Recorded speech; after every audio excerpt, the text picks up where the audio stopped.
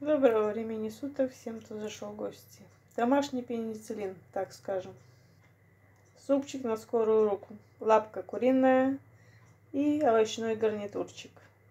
Я буду класть одну картошечку, немного капусты есть, корешки, грибочек один, лучок, чесночок, шалот, брокколи, сельдерей, лук-порей, фенхель, ну и корешок пастернака. В общем, все это такой легкий овощной суп на скорую руку на курином бульоне.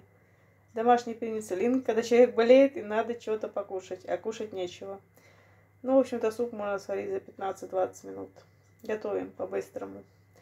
Делаю зажарку, заливаю кипятком, кидаю лапку и потом в конце все остальные овощи. Лапку немного проварю, чтобы был вкус бульона Зажарка, лук, чеснок, шалот. По желанию морковка.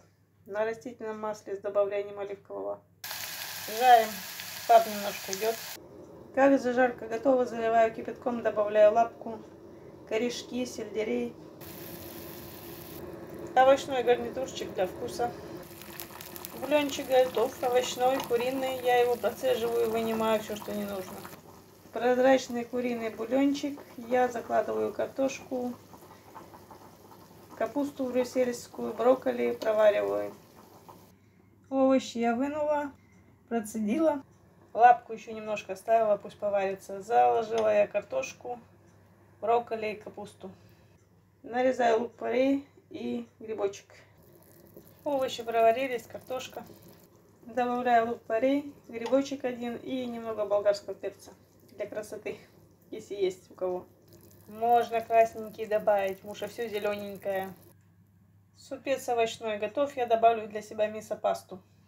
Тут была, тут была курица, поэтому я ложечку, пол ложечки мясо-пасты добавлю.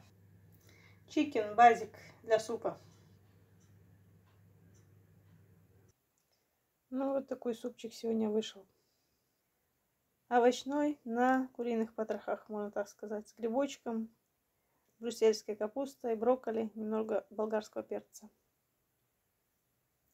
Можно добавить морковку, как хотите. Я себе сделала супчик, потому что я неважно чувствую себя. То ли гриб, то, то ли еще что. Продолжение следует. Поэтому я себе как домашний пенициллин сварила куриный суп с овощами.